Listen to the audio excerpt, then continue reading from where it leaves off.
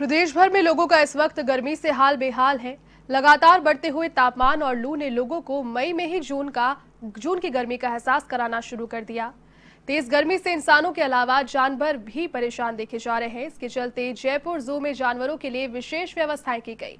जानवरों के बाड़े से लेकर खान पान तक में परिवर्तन किया गया। इसका जायजा लिया हमारे संवाददाता ऋषभ पांडे ने। देश में जहाँ एक तरफ़ लोग कोरोना से परेशान है तो वहीं अब देश में लगातार जो उत्तर भारत में बढ़ती हुई गर्मी है, उससे भी लोगों को खासा परेशानी का सामना करना पड़ रहा है।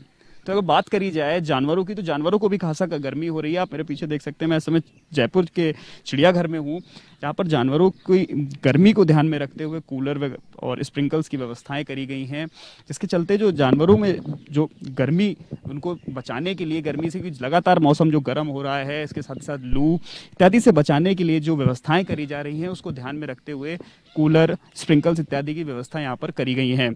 और इस पे अगर ज़्यादा जानकारी ली जाए तो हमारे साथ वरिष्ठ वन्य जीव चिकित्सक अरविंद माथुर साहब हैं।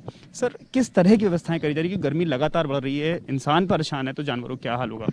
पिछले कुछ दिनों से जयपुर में काफ़ी गर्मी पड़ रही है। इसके कारण हमने, हमारे जो वन्य जीव हैं, उनके लिए, बचाव के लिए विशेष इंतज़ाम किए गए हैं। जो हमारे पिंजरे हैं, उसमें सुबह और शाम को पानी का छिड़काव किया जाता है। इसके अतिरिक्त टाटियाँ लगे हुए हैं, कूलर्स लगे हुए हैं और उनके जो एंक्लोजर्स है, उसमें स्प्रिंकल्स लगे हैं, ताकि उनको ठंडक मिलती रहे उसके साथ साथ हमने, हमारे जो वन्य जीव हैं, उनके डाइट में भी कुछ विशेष परिवर्तन किया गया है। जैसे हमारे जो ब्लैक पक है और जो सांबर हैं, उनको रूटीन डाइट के साथ साथ तरबूज दिया जा रहा है जिससे रिच ऑफ़ वाटर कंटेंट होता है।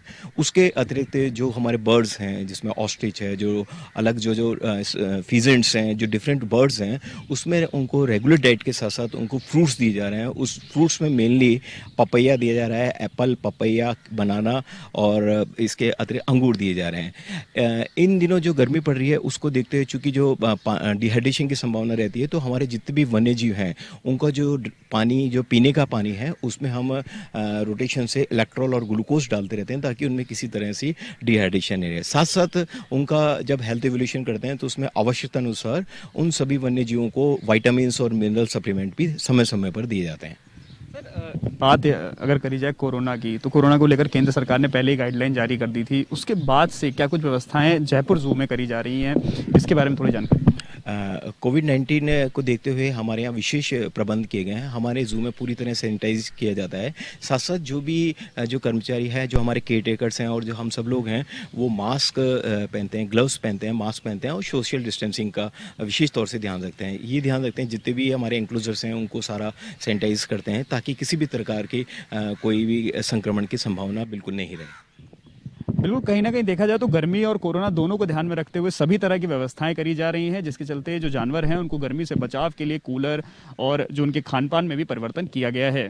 मैं कैमरा पर्सन रामकिशन सैनी के साथ Rishabh Pandey A one TV news, Jaipur. फ़िलहाल के लिए इस बुलेटिन में बस इतना ही। देश और दुनिया की तमाम बड़ी खबरों को